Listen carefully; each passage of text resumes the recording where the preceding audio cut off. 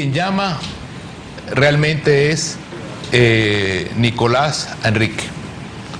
Eh, y creo que cometió un error eh, que, que denota la poca estatura política de este pobre señor, honestamente.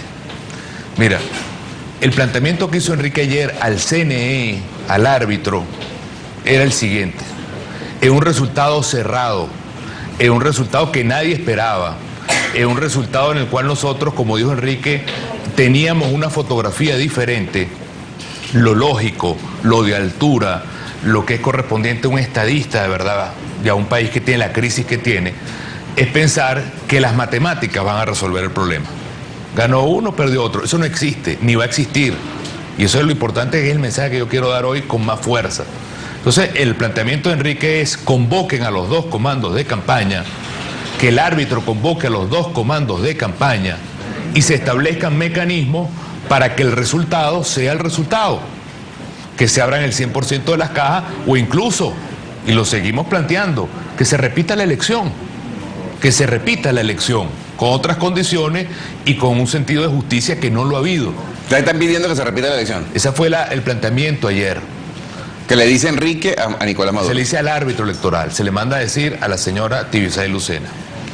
En ese momento... ¿Con qué argumentos piden ustedes la repetición de elección? Bueno, que, que estábamos en un momento en el cual ellos no tenían resultados ni nosotros tampoco. Y que no había resultados irreversibles, ni creo que los haya ahorita. Cuando eh, Tibisay dice ayer que los resultados son irreversibles, no es verdad. Porque el propio Nicolás Maduro ayer pidió abrir las cajas, planteamiento nuestro. Entonces, se produce la llamada y Enrique lo que le dice es una cosa totalmente sensata, que es el árbitro electoral debe convocar a los dos comandos, lograr unas reglas de juego en un final tan cerrado, buscar garantías como por ejemplo abrir todas las cajas, como por ejemplo repetir las elecciones, como por ejemplo ver todo lo que significa las quejas que hay, las impugnaciones que hay, las incidencias que hay, y que no se diga todavía el boletín hasta que la gente no hable, que es lo normal, que es lo civilizado, que es lo democrático. Nicolás Maduro estuvo enredado hablando con Enrique, no sabía ni qué decir, y terminó la conversación de la manera más triste que puede terminarla alguien que pretende ser líder diciendo consulto y te llamo. Bueno, a los cinco minutos le dieron la orden a Tibisay de que diera ese boletín y salió después este señor a decir que abran todas las cajas.